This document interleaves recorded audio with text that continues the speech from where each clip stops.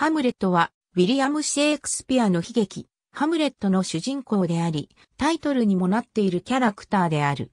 ハムレットは、デンマークの王子で、王位を簒奪したクローディアスの甥で、前デンマーク王、ハムレットの息子である。劇の最初でハムレットは、父親殺しの復讐をするかどうか、またどのように復讐するかと思い悩む。悲劇の終わりまでにハムレットは、ポローニアス、レアティーズ、クローディアス、そしてビッテンベルク大学からの友人である、ローゼンクランツとギルデンスターンの死を招く。ハムレットは、間接的にではあるが、恋人のオフィーリアと母、ガートルードの死にも関与している。劇の最初ではハムレットは、父ハムレット王の死、叔父、クローディアスの王位継承、さらに母、ガートルードの早すぎる再婚によりひどく憂鬱になっている。ある夜、父の亡霊がハムレットの前に現れ、クローディアスが王位を強奪するために、ハムレット王を殺したことを告げ、ハムレットに父の死の復讐をする、よう命令する。クローディアスは何がハムレットをそんなにも苦しめているのかを明らかにするために、ハムレットの友人であるローゼンクランツとギルデンスターンをビッテンベルクから呼び寄せる。クローディアスとアドバイザーのポローニアスが陰で密かに聞いている間に、オフィーリアにハムレットと話す、よう説得する。ハムレットがその場に入ってきて、自殺するか考える。オフィーリアは、ハムレットと会い、彼との思い出の品を返すという。そして、ハムレットは、オフィーリアの貞節を問い、アマデラへ行けと告げる。ハムレットはクローディアスが有罪かどうかを確かめるために、彼を試すやり方を思いつく。宮廷の前で王の殺人についての劇を演じるために役者の一団を雇う。そして、ホレーシオにクローディアスの反応を伺わせる。クローディアスは罪悪感に耐えられず途中で劇を中断するように言う。クローディアスがひどく混乱している様子で観衆の前から立ち去ると、ハムレットは亡霊が言っていたことは正しかったことを知る。ハムレットはクローディアスを殺すために後をつけるが、クローディアスが祈っているところを目撃し、思いとどまる。というのも、ハムレットはクローディアスに煉獄の中で苦しんで欲しかったので、彼が清らかな状態でいる時には殺したくはなかった。そして、クローディアスは今まさに懺悔を通して罪を洗い清めようとしていたのである。クローディアスの命を狙った二度目の企ては、ポローニアスの予期せぬ死を招く。クローディアスはハムレットに殺されるかもしれないと命の危険を感じて、ローゼンクランツとギルデンスターンを同行させ、ハムレットをイングランドへ送る。クローディアスがハムレットをイングランドへ送ったのは、実際はハムレットを殺すためである。イングランドへ出港するよりも前にハムレットは、ポローニアスの死体を隠すが、最終的にはその場所を王に明かす。一方でオフィーリアは父の死によって深い悲しみに暮れ、狂気へと追いやられる。イングランドに送ったはずのハムレットが帰国する予定だという知らせを受け取ったクローディアスは、オフィーリアの兄レアティーズに、オフィーリアが発狂した原因はハムレットにあると説得する。クローディアスは、ハムレットとレアティーズにフェンシングの試合をさせることを提案する。レアティーズはわずかなかすり傷でも確実に殺すことができるようにと、さらに剣の先端に毒を塗ることを王に知らせる。クローディアスは、その作戦が失敗した時のために、ハムレットに毒の入ったワインを差し出す計画を立てる。そして二人が話している最中に、ガートルードが入室してきて、オフィーリアが死んだことを知らせる。エルシノアの墓地で一般的に墓掘り妊婦と呼ばれる二人の道化師が入ってきて、オフィーリアの墓の準備をする。ホレンシオと共に到着したハムレットは、道化師の一人を冷やかす。彼は、ハムレットの知人であったよ、リックの頭蓋骨を掘り出す、道化師である。レアティーズに先導された、オフィーリアの葬式の列が近づいてくる。ハムレットはオフィーリアへの愛と悲嘆を公言し、列の邪魔をする。ハムレットとレアティーズは掴み合い喧嘩になるが、クローディアスとガートルードによって止められる。その日の後で、ハムレットは旅の途中でどのように死から逃れたかをホレーシオに話し、代わりにローゼンクランツとギルデンスターンに死んでもらったことを明かす。廷臣オズリックは話を遮り、ハムレットをレアティーズとのフェンシングに招く。ホレンシオの忠告を聞かず、ハムレットはその申し出を受け、試合が始まる。数ラウンドの後、ガートルードはハムレットを祝って乾杯し、クローディアスがハムレットを毒殺するために用意したワインを誤って飲んでしまう。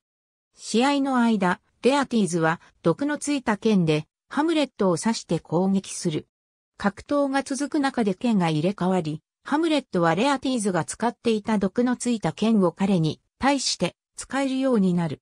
ガートルードは倒れ、最後の時に彼女が毒を盛られたことを告げる。レアティーズは死ぬ間際、クローディアスの陰謀を暴露する。ハムレットは毒の塗られた剣でクローディアスを刺し、確実に死ぬようにハムレットを殺すために用意された毒のついたカップで強引にクローディアスに酒を飲ませる。死に際にハムレットはノルウェーのフォーティンブラス王子を有望な後継者の候補者として王に任命する。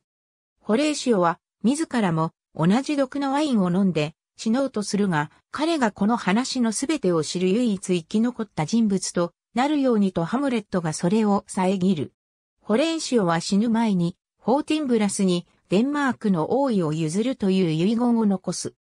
おそらく最もわかりやすい見解として、彼の父の魂であると主張する亡霊によって、要求された復讐を遂行することを正当化するために、ハムレットは真実を探し求めていると理解される。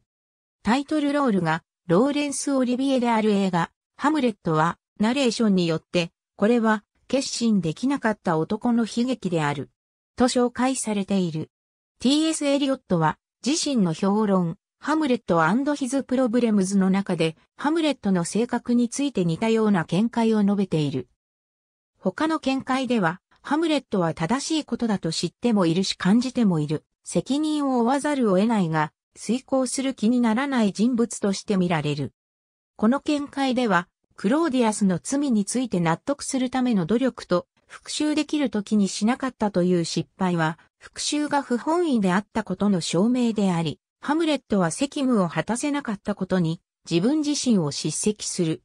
シーンを演じる旅役者を見た後、ハムレットはその役者が涙を流していることに気づき、ハムレット自身の状況を考慮して古代ギリシアのキャラクター、ヘカベーへの思いを比べる。エドウィン・オースティン・アビー作、ハムレットの劇中劇の中のオフィーリアに持たれる、ハムレット・ハムレットという名前は、サクソグラマティクスによって書かれた13世紀のデンマークの歴史書の中にまとめられたアムレートに由来する。それはフランスはドベルフォレによってリストワールトラジック D ハムレットとして広まり、イングランドではハムブレットと訳された。アムレートの話は何、世紀か前のコノルド語あるいはアイスランドの死から生まれたと想定されている。サクソは古獣ト語のアンディーシーのラテン語の形であるアンラスズを用いる。語源学の観点からすると、コアイルランドの名前アンローズは道家を意味するアイスランド語の名詞、アンドゥから来ている。そしてそれは、ハムレットが劇の中で演じたやり方を連想させる。後に、これらの名前は、アイルランドの方言、アンナド法に組み込まれた。発音の規則が変わるにつれて、名前の綴りは変化し、最終的にアンローとなる。このアイルランドの名前は、一般的な民話の中ではヒーローにつけられる。この名前の根源は、激しい、猛烈な、荒っぽいである。ヨハン・ハインリヒ・フュースリー、ハムレットとその父の幽霊、ハムレットのためらいは、シェイクスピアの時代の宗教的な信念にも根付いている可能性があるとも言われる。宗教改革は、煉獄の存在についての議論を生んだ。煉獄の概念は、カトリックのもので、イングランドのプロテスタントには好まれていなかった。ハムレットはおじを天国へ行かせることになるため殺さないという。一方で、彼の父は、煉獄の中で罪を懺悔し続けている。ハムレットがおじを殺す機会は、おじが懺悔を終えたと思われる直後にやってくる。おじをまっすぐに地獄に落とせるように、近親相関のシーツで戯れている間に、ギャンブルをしている間に、酒を飲んでいる間に、あの殺人犯を刺したいものである、とハムレットは言う。ジークムント・フロイトの研究を継いだアーネスト・ジョーンズは、ハムレットはオイディプスコンプレックスに苦しんでいたと、自身のエッセイ The Oedipus Complex as an Explanation of Hamlet's Mystery: A Study in Motive で唱えた。ダンテ・ゲーブリエル・ロセッティ、ハムレットとオフィーリア、オフィーリアに The expectancy and rose of the fair state, the glass of fashion and the mould of form と言われる、ハムレットは、究極的には、劇の中の他のキャラクターや、ひょっとするとハムレットを見ている観衆が持つ、解釈のすべての反映であると言われることもある。劇の中で、他の多くのキャラクターは、類似した誤解をしているが、明らかにポローニアスは、ハムレットの行動の予想を読み違える癖がある。ガートルードは、息子の行動のすべては、彼女の早すぎる再婚だけの結果であると解釈する、同じような傾向がある。ローゼンクランツとギルデンスターンは、かつての学友、ハムレットの振る舞いの中に、宮廷人の阻まれた野心を見つける傾向がある。一方で、クローディアスは、どのくらい老いが自分にとって脅威であるかということに関してのみ、ハムレットの動機を気にかけているようである。オフィーリアは、ハムレットからの愛情を虚しくも待ち続け、ホレーシオは、ハムレットは、亡霊の命令よりももっと差し迫った何かを扱っていたとはほとんど考えていなかった。そして最初の墓掘り妊婦は、ハムレットは、ヨリックのようにいかなる説明の必要性もなしにただ、狂っていたと思っていたようである。シェイクスピアのハムレット第5幕第1話147行目以降、最初の墓掘り妊婦は墓を作るようになってからどれくらいになるのかとハムレットに尋ねられる。この質問に対する彼の答えによって遠回しではあるが、とても明確な方法でハムレットの年が明らかになるようである。戦王ハムレットが戦王フォーティンブラスを破った日、まさにハムレットが生まれた日からであると墓掘り妊婦は答える。そして少しして、私はここで教会の使用人を30年やっていると付け加える。この論理によると、ハムレットは30歳でなければならない。死んだ、道化師ヨリックは23年間度の中に埋まっていると言われており、そしてそのことはハムレットが最後にヨリックの背中に乗った時、ハムレットはわずか7歳であったということを意味する。ハムレットの年に関するこの見解は、初演でこの役を演じたリチャード・バーベッジは、劇期の初演当時32歳であったという事実によって支えられている。しかしながら、ハムレットには複数版があり、この最初の段階においてハムレットは16歳という年齢で登場しているというケースもある。いくつかの証明がこの見解を支えている。ハムレットはビッテンベルク大学に通っていて、王家の人や貴族は30歳では大学には行かなかった。それに加え、30歳の王子ハムレットは明らかに王位につくのにふさわしい年齢であろう。ハムレットがとても人気なことを考慮すると、戦王ハムレットが死んだ後王位継承に選ばれるのは、叔父よりもなぜハムレットでなかったのかという疑問が浮かび上がってくる。